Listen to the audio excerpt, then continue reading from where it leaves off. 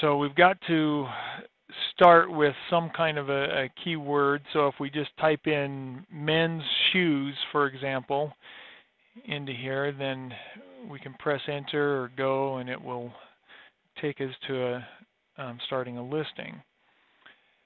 And um, when you have any pop-ups, click got it or whatever.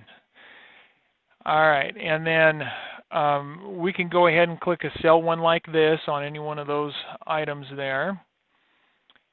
And that will get us started. Uh, okay, they want a condition, so new.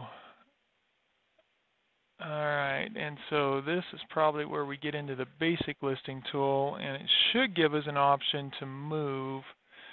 All right, so what we're looking for, and I'm going to zoom in my recorder here. So right up at the top, you'll see where it has a link there. It says change your category or I, no, it's not that one. I'm sorry. It's up at the top right. Change listing preferences.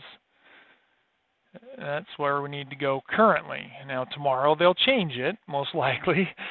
But that'll bring up this listing preferences box and we scroll down to the bottom and click that box. Check the box enable more options. And then we click save.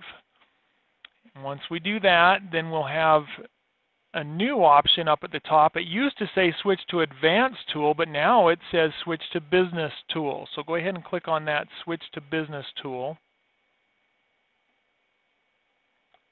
and click switch. So they're telling you, oh, you don't want to do this. You better stay. No, we don't want to stay. We want options.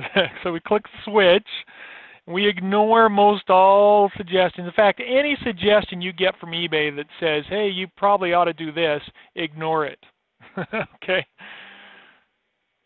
So now you'll have the listing tool that we always put into our videos and, and uh, your listings will look the same as what we're showing. Okay. Until they change how to do it again, but it'll be similar for those watching this in a recorded version later. It will be similar to what we just did.